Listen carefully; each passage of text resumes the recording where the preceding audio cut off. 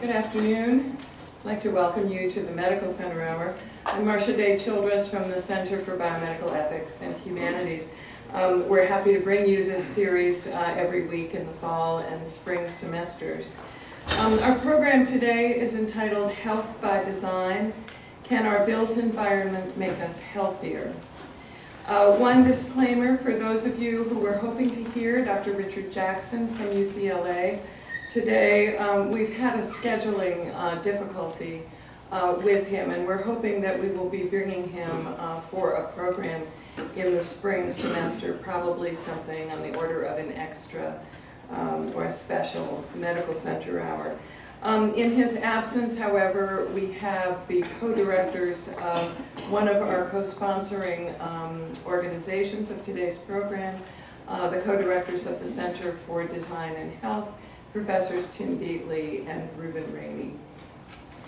The design of sustainable, just, and economically feasible environments for human health and well-being is one of the most urgent needs of the 21st century globally.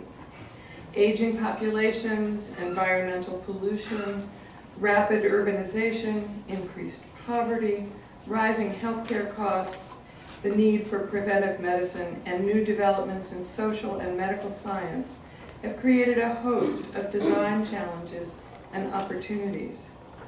In the U.S. and abroad, cities all around us, urban centers and suburban enclaves alike, are rethinking how their built environments, their structures and their landscapes might contribute to better individual and community health.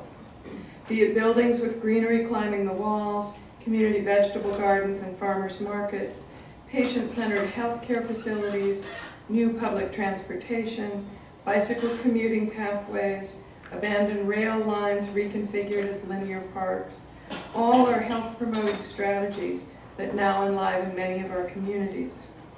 If we can but invest sufficiently and ensure accessibility to everyone, those are some of the challenges. In developing areas of the world, the needs can be more dramatic, the solutions more urgent, the planning and fiscal challenges more daunting. I'm thinking of a city like Mumbai in India, where too many people and structures crowded into too little space now compromise the respiratory health of slum residents. And where planners use GPS technologies to map sanitation facilities in these same slums, both to plug what's presently inadequate, leaving residents at high risk for infectious diseases, and to plan what's needed for the still burgeoning population. In this medical center hour, Professors Tim Beatley on my far right and Reuben Rainey on my near right, the co-directors of the UVA School of Architecture's Center for Design and Health, both distinguished scholars in this area, will be exploring how designers and planners are meeting these challenges at a variety of scales. What you'll hear about today are design conversations that the health professions must join so that those who practice medicine and nursing and public health may consider their patients' and communities' health and well-being in terms not only of clinic visits, medical interventions, and hospital stays, but also in terms of housing, workspace, food supply, transportation, contact with the natural environment. In short, that we may all work together toward designing and building what makes for a good life. So I think we're in for a good hour with Tim and Reuben, and welcome. And we'll have some time for your comments and questions and discussion at the close of the hour.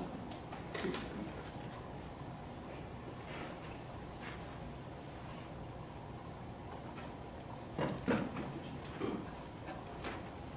Let's see, how do I get an image here? There we go. Well, Martha, thank you. Um, Tim is going to speak a bit later on about the work of the Center for Design and Health, but let me take this opportunity to thank colleagues in the School of Nursing and the School of Medicine and the Department of Psychology for collaborating with the center on, on a variety of projects. So the conversation, at least in this university, has well begun, and we hope uh, we're looking forward to uh, continuing it. My part of the program is going to be about, as you can see here, healing spaces in medical facilities. Tim will talk about uh, other issues involving uh, neighborhoods and, and cities and the like. This is a big topic. So what I'm going to do is present some preliminary remarks about you know, what I mean by a healing space, uh, how they are designed, how do we know that they work, and then show you uh, two case studies. One is a healing garden, uh, primarily designed for uh, dementia sufferers, and the other is a, a University of Florida New Cancer Center. It's about uh, two years old, which the center has actually been studying uh, the effectiveness of certain of its design features. But I just want to show you uh, some of those features. The study is, uh, is still in, in progress. Now, what do I mean by uh, healing spaces? Well, I think etymology might help us here a bit. the verb to heal means to make whole, which comes from Middle English uh, helen, from which we derive such terms as wholesome and sound. So a healing space engages both the mind and the body. It's a holistic space. It uh, does not necessarily have to be confined to medical facilities like the VCU Cancer Center here. Uh, it can be a private garden, such as this uh, garden for a CEO in the uh, north of San Francisco, or it can be uh, one of our great urban parks, Prospect Park in, in Brooklyn, which was uh, designed and still functions to, to relieve the stress of urban living. Now, in a medical facility, healing spaces are directed primarily to relieve stress. And in this uh, venue, I need not say anything about the uh, negative effects of stress on the immune system. I would just simply point out that that stress is not only confined to patients, but to staff, to physicians and nurses and others, as well as to uh, visitors. Now, how do we know that uh, these spaces work? How do we know that they, they reduce stress? Well, there's a large body of literature. It goes back maybe 30, 35 years. It's uh, primarily social science, in other words, it's not hard science. It doesn't have the ability to control uh, variables and uh, to be replicated and uh, so forth in the way that a rigorous uh, natural science, hard science study would do. It's social science, but yet uh, the better studies certainly control variables and uh, they produce, I would say, strong circumstantial evidence, and that evidence continues to grow. Now here's one example this was a very famous study by Roger Ulrich, which was done in the early 1980s. He took uh, patients in a 200-bed Pennsylvania hospital who were undergoing the same operation, uh, gallbladder removal. They were on the same floor. They had the same nursing staff. he screened them for, uh, you know, for, for smoking and uh, other health problems and eliminated those who had severe problems. The patients uh, were assigned randomly to rooms on that floor, which were absolutely identical in color and furnishing, uh, everything except for one thing. Half the rooms looked into a park-like setting, half the others looked out the window into a brick wall. And I have to confess, this is not the original views. This is my kitchen window, and uh, that's the neighbor's brick wall. But you get, you get the point. Um, well, to make a long story short and do an injustice to a very, very carefully controlled and sophisticated study, Ulrich found that the patients who had the view of the park-like setting got out sooner, they took less expensive uh, painkiller, and they also complained less, which translates not only into uh, humanity, but also translates into dollars and cents. So that's the kind of study that uh, we rely upon to uh, discuss uh, whether or not these things work and, and, to derive design principles which we can apply. Now, what's really exciting now is given the new imaging technology, uh, fMRI scan experiments and things, we can much more precisely now understand the effects of environments on the brain. And also with digital technology, we can mock up uh, medical environments and uh, test certain factors. Here, it's, it's at the uh, University of California, San Diego, in which in this experiment, uh, this lab assistant is testing wayfinding in a medical facility to see what kind of landmarks will bring a person through. And although you don't see it here, People are hooked up to EEG caps to measure their brain electricity, and there are other kinds of uh, physiological experiments done to see which environments are more stressful and which are not. Now, how are these gardens designed? And I would I'd make two points here. First of all, they are designed to fit a particular medical context. The other thing is they are team designed. Now, this is the Joel Schnaper Garden, uh, designed by landscape architect David Kamp. It's in the uh, Terence Cardinal Cooke Medical Center in New York. It's just across from uh, Central Park.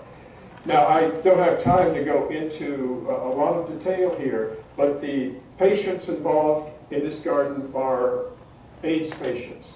And so the garden is specifically designed through consultations with physicians, with nurses, with physical therapists, with the patients themselves, with their families, with the CEO of the hospital, and also the maintenance staff in a back and forth dialogue to come up with a design. Now let me just point out a few things.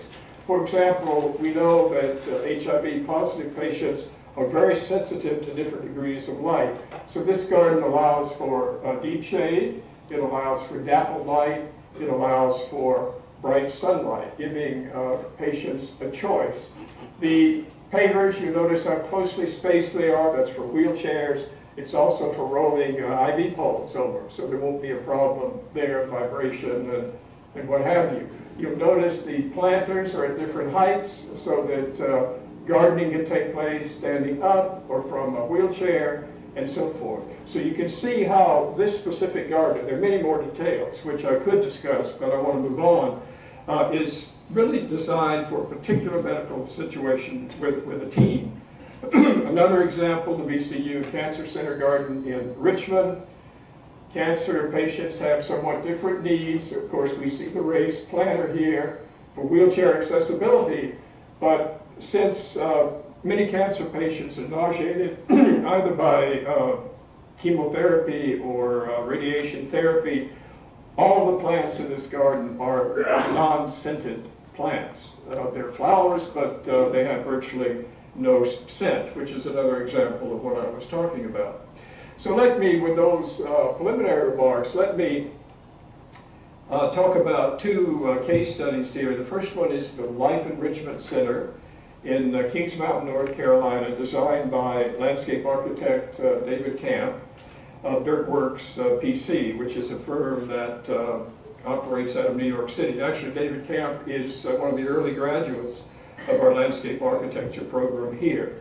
Now, just as in the case of Joel Schnaper Garden and the VCU Garden, this one is designed to address the needs of dementia sufferers. I would say 80% of the people who use this adult daycare center suffer from some form of dementia. Uh, either vascular dementia, but most of them uh, Alzheimer's. They're in some of the early or, or the mid stages of Alzheimer's. Well, we know now a lot about what they need uh, in a garden design. First of all, uh, they're prone to claustrophobia. Uh, they're easily disoriented uh, spatially. They need, uh, many of them need uh, active uh, walking and exercise, which is calming. They need exposure uh, to nature and, and, the like. So we can see built into this plan, here's the building, which I don't have time to go into, but let's just talk about the garden. The garden has a fence around it. It's very transparent, and from most points in the design, it's virtually invisible the, uh, the garden is really three parts. There's a porch, which is the socializing area where, where people gather. Some of the more uh, stricken of, of, the people will not go beyond the porch itself. And that porch also serves as a landmark, which I'll show you in a moment. The second part of the garden is the so-called activity garden. It's very simply designed, a cross-axial pattern and an axial pattern. The cross-axis is terminated by uh, two trellises. The trellis here is used mostly for uh, flower arranging and other crafts. The one here is more for socializing, but you can see how simple this design is. Axis, cross-axis. Uh, it's easy to find your way here.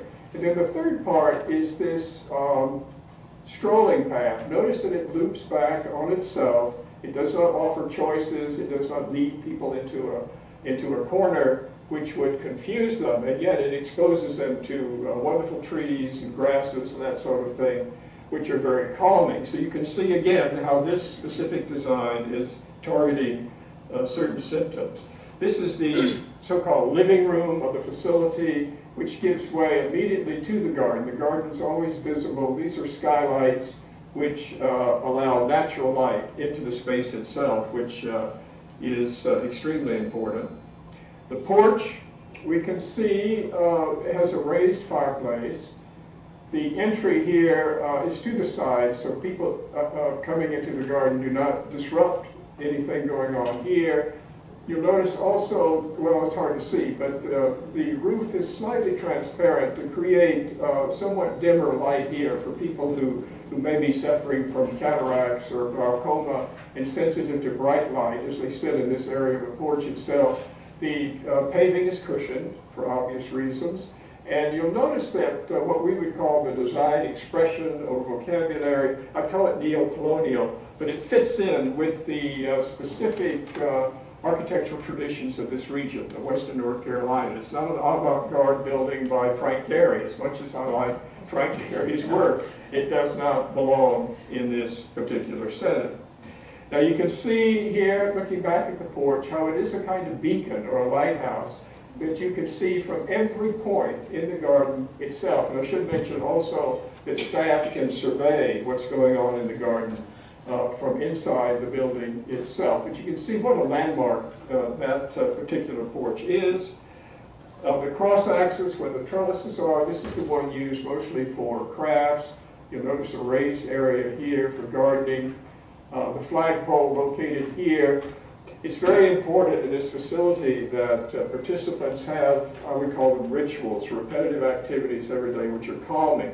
So the old veterans every morning will raise the flag. There are other groups that will uh, attend to the bird feeders. Another group will arrange the flowers. Another group will do some of the cooking and so forth and so on. And some of the features of the garden itself uh, cater to these uh, repetitive uh, calming rituals. Just as in the Joel Schnaper garden, you see planters at different levels here. So with a walker or from a wheelchair, one can engage in gardening, which again is a very calming activity for most of the participants.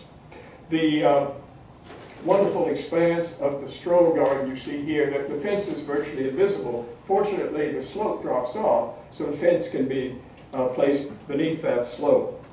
So this spaciousness completely uh, destroys any uh, sense of uh, claustrophobia.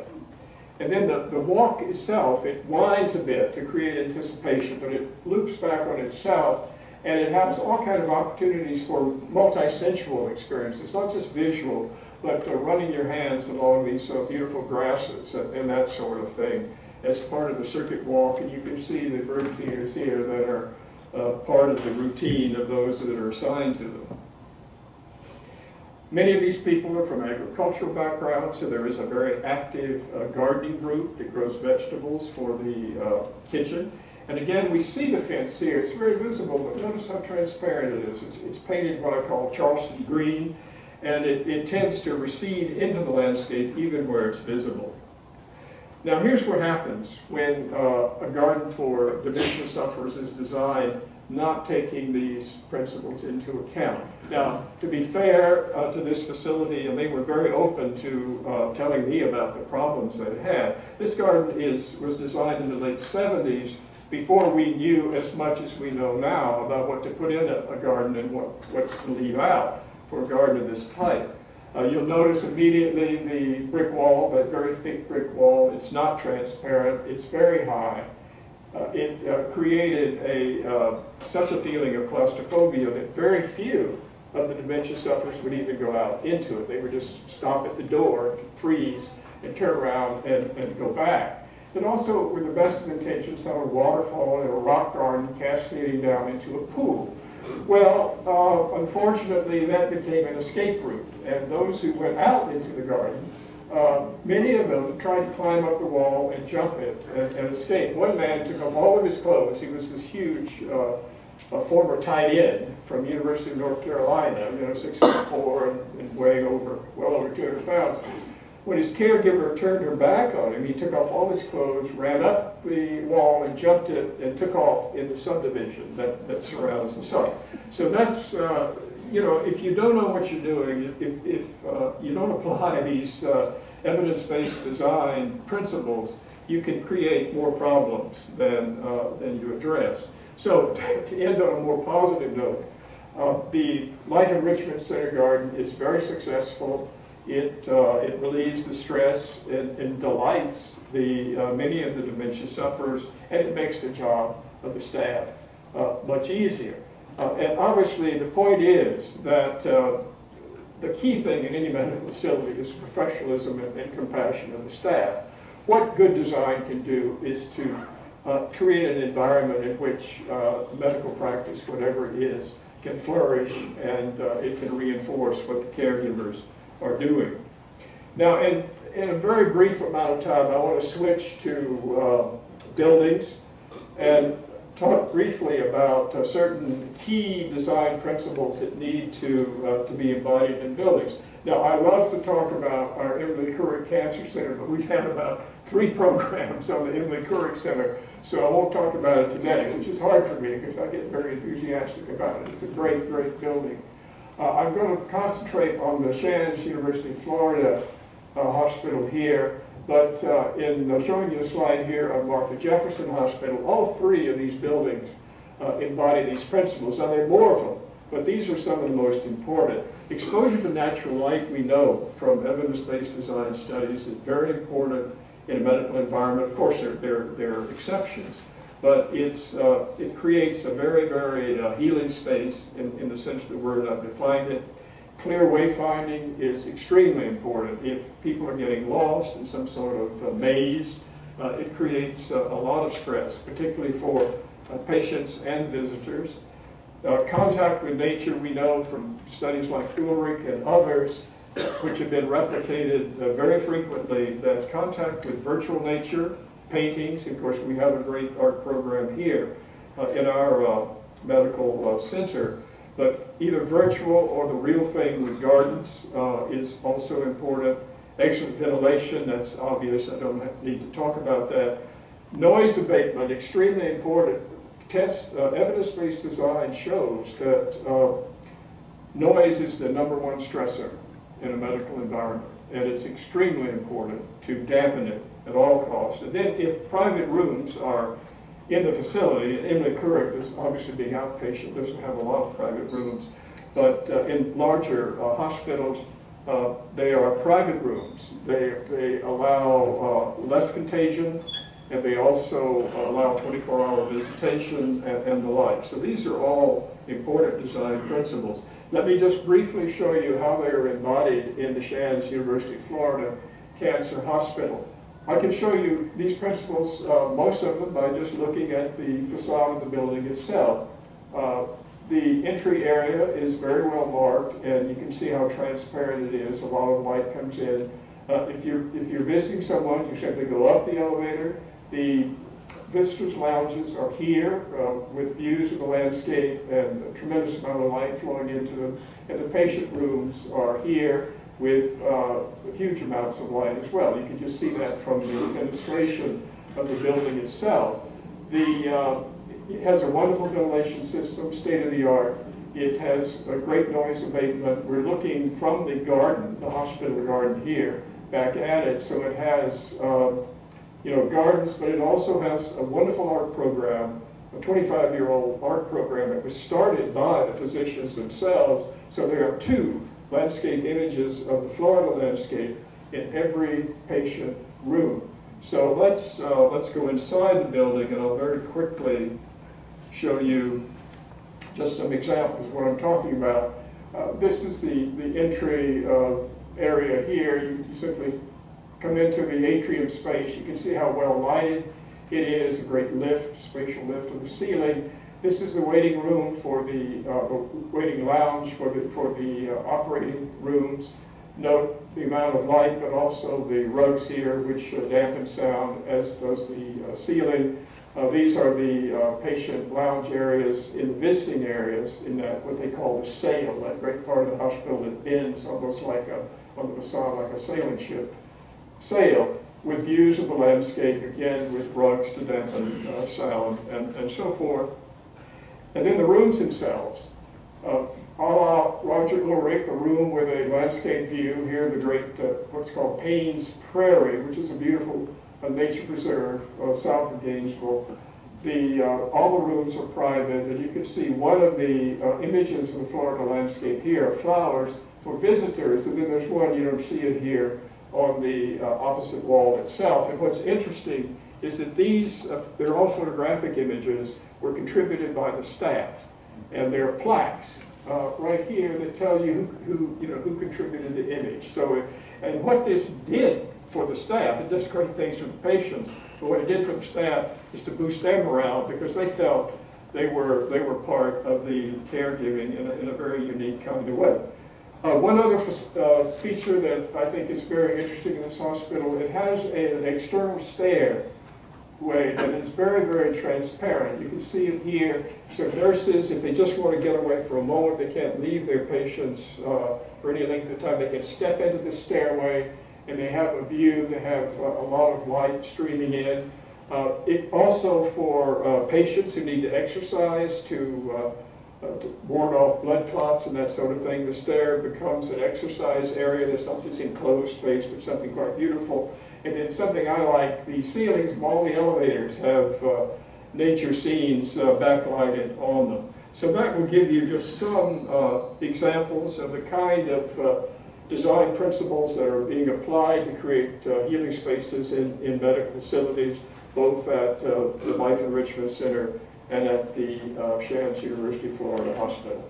So that uh, concludes my part of the program, and I will uh, turn it over to Tim. Okay, is that on? And let's see, I'm going to find my, my clicker. All right, well, thank, thanks so much. And Marcia, it's great to be here again. Uh, I was thinking about how many, couple, two, three times I've done this medical hour. It's always fun to come over this part of the grounds. And I'm always inspired by Reuben, um, who, whenever I hear him speak, gives me great hope in the power of thoughtful design. Um, my, and I think we complement each other well because my focus of my work is at sort of a larger scale, larger level, typically at community or regional uh, level. A challenge of designing healthy places. Well, the challenge is that picture in the background, uh, which we, we recognize now the last uh, several decades in particular. The more we have spread out, the more sprawl we have seen, the more car dependent we've become, the more sedentary our lifestyles, the less healthy we are.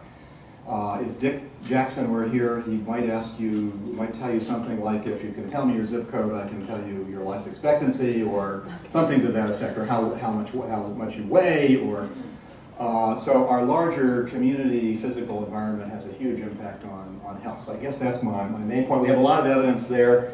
Uh, here's uh, one piece of it, the RAND study a few years ago showing comparing sprawled uh, communities with uh, more compact com communities, finding that those in sprawling communities suffer from a variety of chronic health problems, asthma, hypertension, arthritis, chronic lung, lung disease, etc. And uh, we have a particular problem, of course, with um, our sedentary lifestyles. And uh, just last week, this uh, journal, Diabetes Research and Clinical Practice, had, had a piece that summarized 12, 12 years of research uh, concluding that prolonged sedentary behavior adversely associated with health outcomes. We know this, including cardiometabolic risk, biomarkers, type 2 diabetes, and premature mortality, even in otherwise healthy individuals. And I thought the, the, the, conclusion of the author was kind of interesting. There's a possibility that the, the average 30 minutes of daily exercise will not be enough to undo the, undo the hours of exposure to sitting. That's, uh, that 30 minutes is, of course, a very optimistic um, goal and not something most, most of us are able to achieve. It's a whole lot easier, though, if we can figure out how to design it into our communities and into our daily lives. This is my reference, my referential slide to Dick Jackson, this is actually a slide I got from him a number of years ago. He's been talking about this for a long time. Uh, this is a real slide. People, you know, riding the escalator up to the health club. Heaven forbid that we would ever get any exercise on the way to getting exercise. So that's, you know, the American approach to exercise is we've got to schedule it in from 2:30 to 3:10 or whatever it is, and then we get in our car to drive somewhere to, you know, to do it. And uh, so a challenge for us, uh, for my profession, planning, uh, is to think about how we can, how we can make that uh, just a regular part of daily activity, as a, a regular part of what, what you get, the, uh, the health benefits of living in a particular place. That means, of course, that we have to think about um, connected neighborhoods and sidewalks and, and trees and, and making uh, those neighborhood and community conditions amenable to, to outside activity and walking. So there are many dimensions, uh, multiple dimensions, multiple scales, and that's partly my message here is that uh, this, our new Center for Design and Health is ambitious in trying to think about uh, all of the different ways uh, in which design can affect health, uh, from the design of that interior space and that building, uh, all the way out to the sort of regional scale, maybe even beyond. Many different issues. I've just mentioned the physical ac activity, creating conditions where we can walk and, and bicycle, uh, creating the, the design qualities, community qualities where people come together, where they have friendships and connections, gathering spaces, uh, that sort of thing. Uh, there's an image here about a, a grocery store. Increasingly, we're thinking about food. We know that's a huge uh, dimension of, of health, and there are, are uh, tremendous physical environment uh, implications there, and, and um, ways in which designing the physical environment uh, affects access to healthy food. Is there a, a full-purpose grocery store uh, in one's neighborhood? Uh, is there ready access to fre fresh fruits and vegetables? Often not. We hear a lot about the notion of, of food deserts, and that's a huge uh, issue uh, uh, for us. So we have this new, I think, Reuben, we're coming up on our second year. Um, we launched the Center for Design and Health spring of 2011, I think. This is a screensaver, a screenshot of our uh, webpage, uh, uvadesignhealth.org. Uh, please uh, come and visit, take, take a look.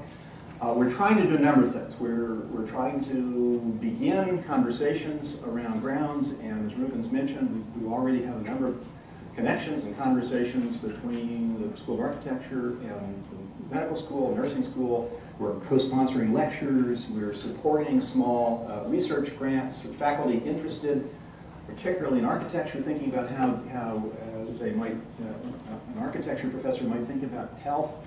Uh, outside the School of Architecture, we're trying to, in a sense, invite um, faculty uh, to join us in this mission, and we, we uh, two years ago started uh, something we're calling the Design and Health Fellows uh, program, and there's a picture of Sophie Trawalter, uh, who is a psychology professor here at UVA. She was our inaugural, inaugural fellow, and we have uh, three new fellows uh, starting this year, and uh, so a lot of other uh, things that we're doing, but we're very excited about it. A lot of the work, in, interestingly enough, is, is, is, focused at a kind of neighborhood level. So I wanted to at least have one slide that, that made that point. Um, we have one neighborhood in Richmond that we're beginning to work with and study and understand how interventions at a neighborhood level uh, could lead to more healthy uh, lives and lifestyles. This actually is a community in the Netherlands that I've been studying and, and, and uh, part of a documentary film uh, we've made about nature and cities. Uh, what is it at the neighborhood level? Well, it's, it's something that is a little bit more manageable. We can sort of get our heads around uh, what those qualities are that, that help us to, to be more physically active and, and to be outside and to be more, uh, to have more deeper social contact with other people. Uh, this particular community is very compact, uh, a mixing of uses. So there are things around that, that one can walk to. There are sidewalks. There are there's an effort to limit the, the impact of automobiles. This is largely a car-free uh, neighborhood, and that's very green. And that that uh, interior feature actually is an orchard uh, that kind of is at the very center of the, of the community. So uh, a few kind of overarching slides. I wanted to spend the rest of the time that I have kind of building on a point that Reuben made about the power of nature. So one of our uh, research projects that we have going on in the center is uh, what I've been calling the Biophilic Cities Project. about a year ago, we uh, got some funding from the Summit Foundation, Washington D.C. based uh, foundation, uh, to examine the, the power, the impact that nature at a kind of community level can have. Um, building on this notion of biophilia, this is uh, an idea that Ed Wilson, E.O. Wilson from Harvard, Harvard biologist, popularized this, this notion. Here's one of his uh, definitions, biophilia, the innately emotional affiliation of human beings to other living organisms. Innate means hereditary and hence part of ultimate human nature. This idea that we have co-evolved with nature, that we're carrying with us our ancient brains, uh, and that really for us to be uh, healthy and happy and productive and to, and to lead meaningful lives requires us to have contact with the natural world, with nature. And it's not something optional, it's something that we, we absolutely need, and it's not something that we can just get on a holiday, uh, on vacation during the summer. We've got to have that nature, that exposure, that contact with nature uh, all the time, at least on a daily basis, um, if not more frequently. So it's got to be everyday nature. It's got to be around us. So um, a lot of evidence, uh, Reuben mentioned the Roger Ulrich uh, study. We have a, a, lot of other evidence that's sort of kind of outside the building uh, focus uh, at the community level. Uh, here's one image about the, uh, this fantastic um, evidence from Japan. They, they call it forest bathing. I love this concept of forest bathing, you know, that you're walking in a forest and you have the dappled lights and the, and the, the, colors and the sounds of birds, and it's really immersion in the sense of bathing. Uh, so it's a, bathing is a good word to use, but they're finding, maybe not surprisingly, that that walk through a forest uh, results, results in reductions in stress hormones and boosts our immune systems. So we want to see more of that nature in, in cities and in communities. We want to see more people using it. Nature is uniquely qualified, uniquely suited to bring us together and to foster new social contact and friendships. And uh, these two women on the left, actually, we filmed them a couple of years ago. Uh, they are um, amateur urban wildlife trackers. So they've actually gone to school to recognize uh, track marks. And so we followed them around one day. Uh, they're in a canyon in San Diego, and this canyon uh, turns out to be a place where rather different, people from rather different neighborhoods that circle the space come together and meet and have formed friendships that would otherwise not ha happen. So whether it's through a birding club or, or a native plants uh, society or, or um, an amateur tracking club like this, nature can bring us together. We know, of course, about the health uh, benefits of social contact and, and overcoming social isolation, and the, you know, the, the, more extensive and deeper your friendship networks are, uh, the healthier you are likely to be. So designing communities can help us in that, in that way. Uh, greening urban environments um, can make them safer. Um, there are these indirect as well as direct impacts from, from the natural world. This is, um, can't see this very well, but the results of a, a study last year published in the American Journal of Epidemiology, a very interesting study of the impact of greening, of planting trees in vacant lots in Philadelphia, comparing the impacts in those neighborhoods uh, to similar vacant lots without the greening. And again, not a big surprise maybe, uh, seeing that that greening process results in reductions in gun violence, gun assaults uh, in, these, in these neighborhoods, and, uh, and actually uh, uh, showing uh, an, less stress and, and an increase in exercise in these neighborhoods that, that have lots that have been green. Um, lots of very pretty compelling stories about how these cities are, are going about their greening agenda, and, and Philly has a huge challenge um, uh, before it. But one interesting um, nonprofit is called Philly Orchard Project. They, they actually are working with um, disadvantaged neighborhoods in that city to plant orchards. And uh, these are, these are um, projects, orchards in which the community, the neighborhood takes over the, the task of, of pruning and managing and maintaining these orchards and becomes a community building uh, activity as well. So the rest of my slides actually have to do uh, with fleshing out this idea of what is a biophilic city? What is a city that is full of nature where, where uh, residents, urbanites have, have this, uh, these contacts, these opportunities to connect with the natural world. A biophilic uh, community is certainly a community that has a lot of, of green space and a lot of nature. Um, this background image is Helsinki.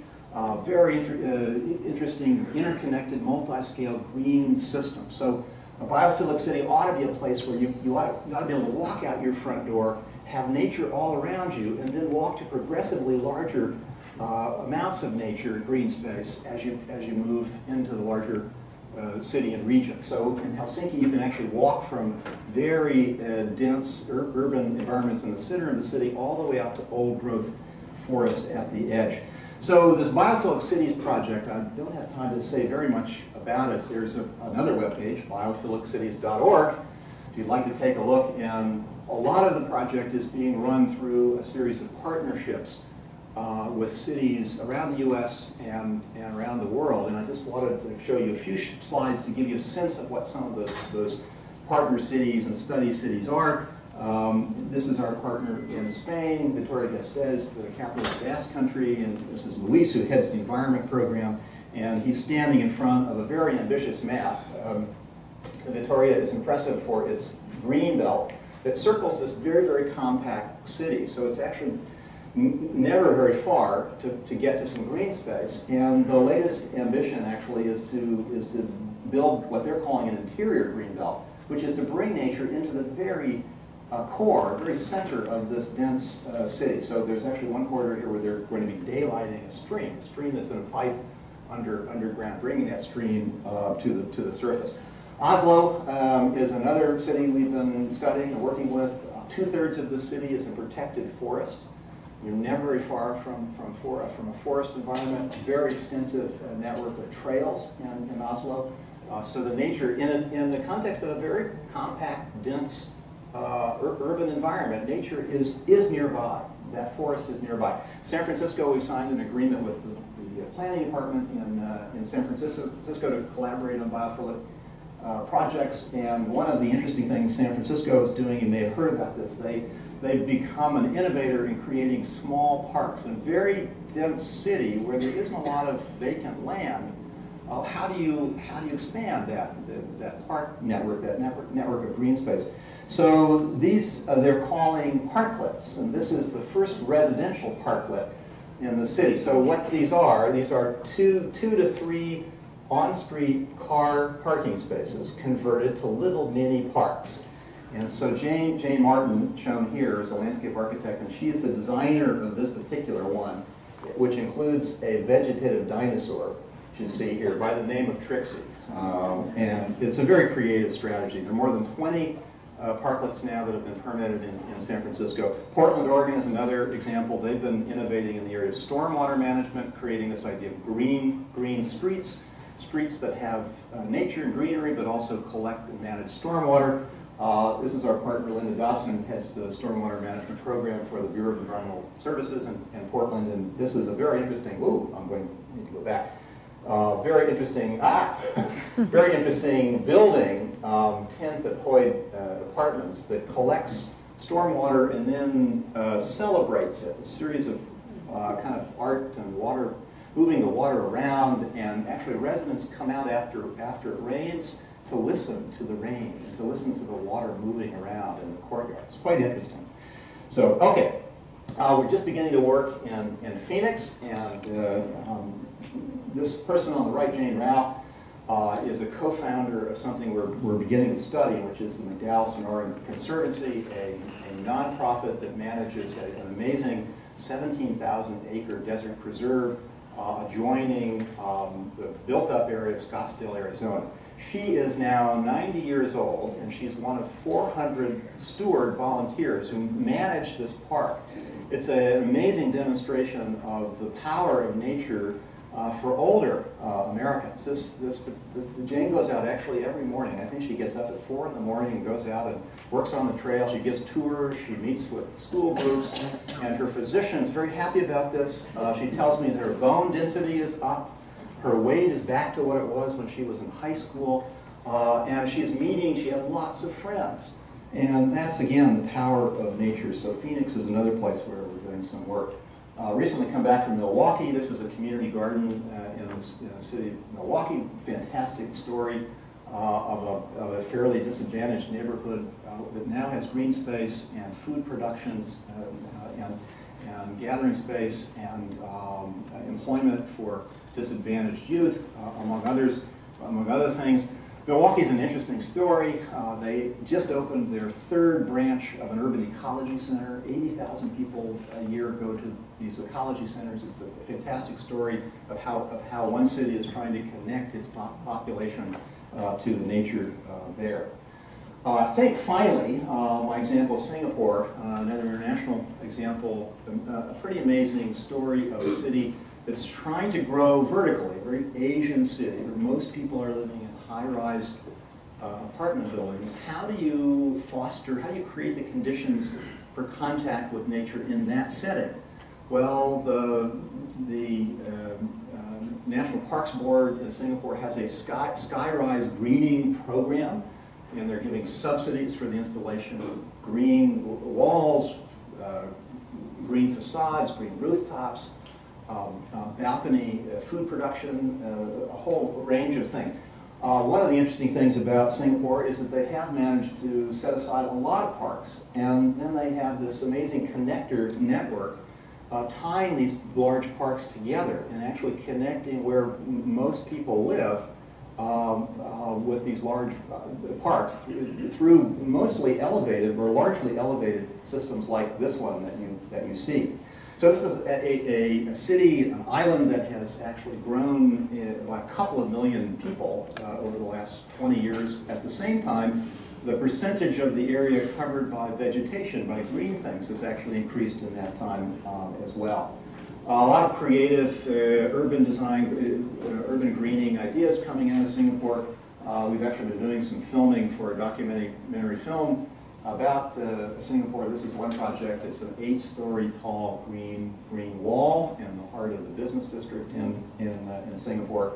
We spent a little bit of time uh, filming at this uh, very green school. The kids are standing in front of. They're very proud of the the fernery in the back. Um, and I don't have an image of it, but one of the most impressive, most dramatic green walls I've ever seen is a wall that was designed and built by the kids at this school with a little bit of money from the Singapore uh, government. So I'm coming up on the last couple of slides. Uh, I thought I would end actually with the story. By the way, there is this uh, Singapore documentary film is now on YouTube if you're interested. So if you just Google uh, biophilic Singapore, um, you will you will find it, and it um, uh, is organized in a series of chapters. And, and one chapter is about um, the KTPH, uh, the very amazing hospital, a relatively new hospital in Singapore. I think perhaps the most biophilic hospital I've seen anywhere. A lot of things that you can do in Singapore because of the tropical environment, um, but it's really quite remarkable. You get a little sense of it uh, in the background here. They have an amazing green uh, courtyard which has a waterfall, and, and perhaps most impressively, um, they, they have set the standards a little bit differently. So the CEO, in, in setting the charge for the architects, basically said, uh, what we want to do, we want a building uh, where uh, when patients walk in, their, their blood pressure and their heart rate actually go down rather than the reverse. And not only that, we want, we want a hospital that will serve as an ark. We want to have a hospital that will help to compensate for the loss of tropical rainforest and the impact on species. So this is a quote from just as the rest of the world's chopping down the rainforest, we declare ourselves the Noah's Ark of tropical rainforest. That means we, we try to, we consciously bring back species. Um, and, and in this case, you walk into this hospital, they are, they are, they have assigned, they're judging their success by the number of bird species and butterfly species that are seen in, in and around the hospital. So that's pretty interesting. Uh, this is, I think, my next to last slide. Um, one of the other dramatic aspects of this hospital is that it has a, a, a farm on the roof, and uh, including 140 fruit trees. And uh, actually, many of the residents, many of the patients have rooms that look down on this farm. And the surveys uh, of residents suggest, the patients suggest that they very much enjoy watching that. And that's a very important biophilic uh, feature uh, for them. Okay, I think this is my last slide, which is to make a little bit of a pitch. There is a book called Biophilic Cities um, that might be of interest. It has a lot more detail about what I mean by bio, biophilic urbanism or biophilic cities. And then we have this web page, which has a, a page for each of the study cities, each of the partner cities that we're, we're working with. So the power of nature. It's something that Reuben and I, uh, it's an interest uh, we both share, and so I think in many ways our collaboration is a little microcosm of the potential of our center to bring together, um, our disciplines are already pretty closely aligned, but we're working at different scales. And so we invite all of you um, to, to join us in this, um, this mission. So I'll stop there, and do we have any time? I haven't even seen the, oh, we do, great. Thank you so much. Um, We have some time for um, conversation. Um, I think we have people from, uh, certainly from medicine and nursing, perhaps from other parts of the university as well, and I would encourage you to offer your questions and comments. We will bring a microphone to you, and I would ask that you please um, identify yourself uh, when you ask your question or make your comment. Um, Yes. Yeah. Thank you. I'll have a raised.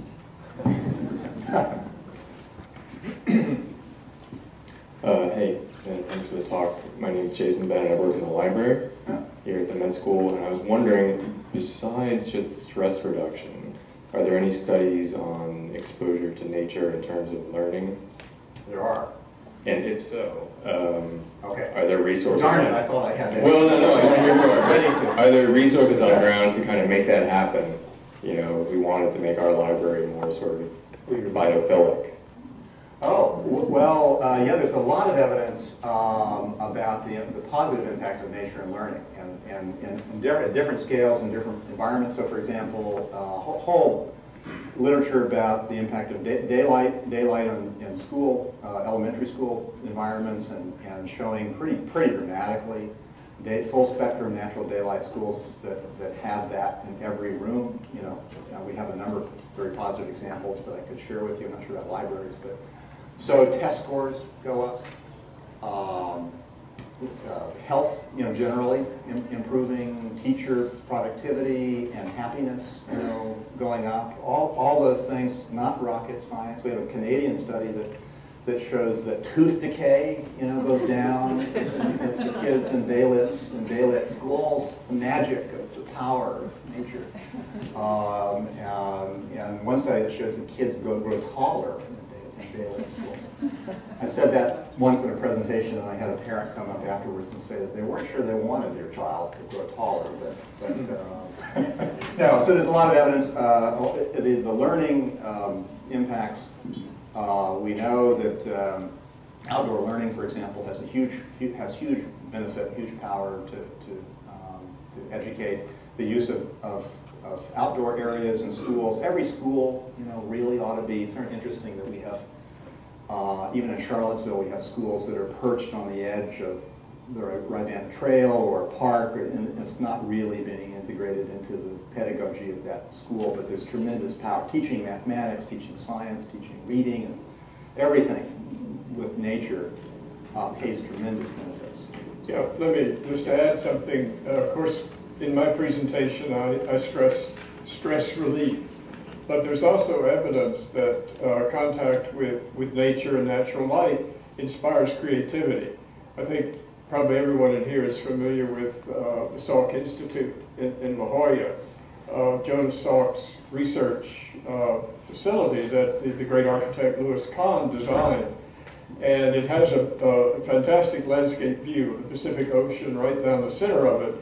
And Salk was stymied in his research on the polio vaccine. He went to Italy, he lived in Assisi, he experienced that wonderful landscape and had a breakthrough in his thinking. And he, he had very strong feelings that uh, exposure to biophilia and the landscape would inspire the creativity of his scientists.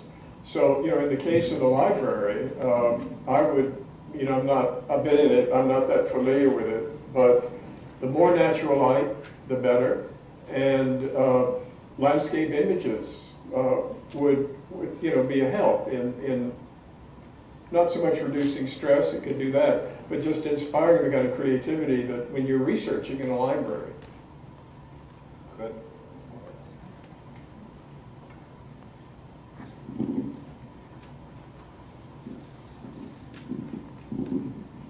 Hi, thank you. Uh, Liz is my name and I'm a chaplain. So the uh, studies can be persuasive. I'm wondering about the cost. Um, I hear about passive house and uh, ways to integrate ecologically friendly um, ideas in architecture and even city planning, but it always seems to cost a lot more. So can you speak to the challenges of that, especially in our times? Um, Well, let me take the example of medical facilities. Of course, that's a key issue. And uh, any CEO, any person is going to want to see some kind of proof of this. There have been some studies, and they are, they're controversial, so there's not, you know, consensus on them, that in the short term, in a medical facility, things like uh, more fenestration, the the expense of dampening sound, uh, the creation of gardens and all that sort of thing, in the short term, obviously is more expensive. But in the long term, uh, uh, more than pays for itself. Now, what I mean by the long term, there was a, it's a hypothetical study in which uh, CEOs, architects, people who knew, uh, particularly hospital design, so they're not amateurs, they're very familiar with them, created a, a hypothetical hospital. And they had two versions of it, one with certain features and one without them. Costed them out. The construction cost, I think, was uh, substantially more, something like $20 million more to implement the state-of-the-art facilities. But they figured out that within two years, this would pay for itself. Uh, How? Well, it would attract patients, it would reduce medical errors, so lawsuits, and uh, from there on out, it, it would be something that would attract uh, patients. So there have been a number of these studies. As I say, we need really to, it, it's hard to, to get the, to control the variables. But uh, what I hope someday, someone's going to take uh, a hospital that gets rehabbed with these new facilities and does a before and after study of it to prove this. But already there, there are studies that indicate this. And for better or for worse, I mean, in our capitalist society, that hospitals compete with each other for patients, obviously. And uh, the ones with the better facilities tend to draw more patients. There's some studies, again, and I'm, you know, I'm skeptical of a lot of this, but some studies show that some patients will actually choose a hospital that is, is better designed, that has more of these features over the uh, imminence of the medical staff itself, because they see the well-designed building and whatever it is as emblematic of the kind of care they're going to receive there. I might just add a couple, couple of things, just to echo that uh, sentiment about, uh, there might be a small up- upfront cost. It's often not as much as we think it is to do the green elements. And things like green rooftops, it turns out that that, you know, uh, that strategy um, prolongs the life of the underlying roof. So in fact, it's a very cost-effective thing to do if you're thinking about 30, 40 or years, a longer, a longer time frame. So there is a, a very strong economic argument to make for, for most of the urban, most of the greening things I'm, I'm interested in. And some of the things pay for themselves almost immediately. I mentioned the day, daylighting of elementary schools, and we have, we have examples from North Carolina where because of the downsizing of heating and cooling systems and the, the, the profound reduction in electric, you know, power consumption, uh, these, these uh, additional daylighting uh, elements pay for themselves in six months, if not sooner. So it's a very, very, on, on, on, on just sheer, you know, accounting and cost effectiveness, they make, they make sense. But the other cost issue for me is, can we, can we really afford not to do any of these things? I mean, there are these huge looming public costs. If Dick Jackson were in the room, he would talk about the billions of dollars of public expense looming when we think about type 2 diabetes, for example. Think, think about long-term. We're thinking about community design. We cannot afford um, car-dependent, you know, non-pedestrian places where people can't get out and be physically active. Uh, it's not. It goes well beyond this kind of narrow, cost-effective sort of sort of debate that we sometimes get into. Yeah, we, we continue to build the most unhealthy cities that you can imagine because of the automobile And there'll be a huge economic cost. There, there is already from, from that. And it's not an easy issue to resolve. I mean, you know, there's no simple answer to it. Time for one quick question. Hi, I'm Ashley. I'm a public health student, and uh, I was just wondering what kind of interventions you have to get people to have contact with nature during the winter, um, when you're dealing with a lot less greenery and less daylight and maybe less sunlight. Well, that's a key issue, and uh, of course, if you're in California, it's not a big problem, right? Um, Well, there, there are various ways. The, the virtual depictions of nature, the art, the landscapes, uh, will serve some of that function. If, if you have lavish amounts to spend, if we're talking about uh, exposure to nature, one can have uh, a greenhouse, a conservatory that people can, can occupy. Now, again, it depends on what kind of facility, because, you know, the Emily Couric Center, uh, for all the great design features it has, its gardens have to be exterior to the building. There are no plants allowed inside the building at any time of the year because of uh, compromised immune systems. So it depends, but certainly uh, virtual nature, uh, things of that sort, plus uh, if, if one can actually have the greenhouses and things of that sort. In addition, I would say, uh, partly this is a cultural challenge. Um, We, we tend to spend a lot of time in- inside in winter months. Maybe that's for obvious reasons, but it doesn't have to be that way. And some of our study cities are northern latitude, you know, they're, they're northern winter, wintry cities, and there the culture is quite different. And it's get, it- you, you're- you get outside. And schools, the teaching of, of elementary kids in, in Finland, for example, it's 45 minutes inside, go out, take the kids outside for a walk. Another 45 minutes, take them, you know, it, it, where, it, partly it's about changing our attitude. And, uh, and- and- but each city will have its own particular climatic uh, challenges and, and, um, you know, in Phoenix, it's, it's shade rather than, you know, winter heat that you're trying to get around.